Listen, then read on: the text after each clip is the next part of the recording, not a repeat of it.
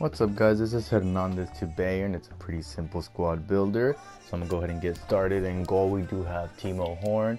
Right back we have Aurelio. Center backs is Upamecano and of course uh, Hernandez. Left back we do have Cole.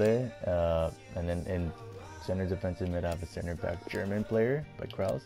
Right mid are Juarez. Center mids are Kinsombi, Dalbit, and Bangfi I guess. And then striker is Schmidt and these are the leagues and the teams that they are from. If you guys do like what you see don't forget to give it a thumbs up and don't forget to subscribe. And yeah thanks for watching